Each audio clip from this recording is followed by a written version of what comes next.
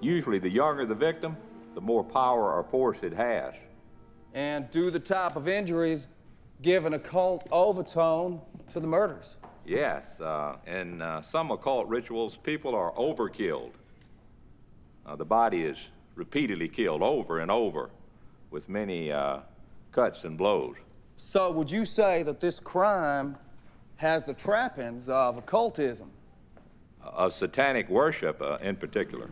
Dr. Griffis, to get your PhD, what classes were you required to take?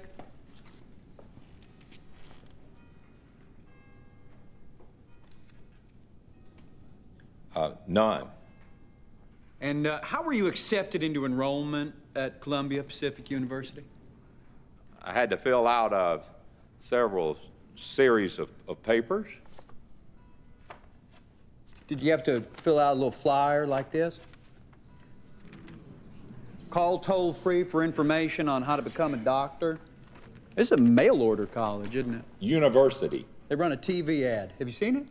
Yeah, you can send in a request for what you want your degree in. Did you know this was a correspondence Judge, school? I didn't. The witness has a mail order PhD from a non accredited school that required no classes. We object to Dr. Griffis as an expert.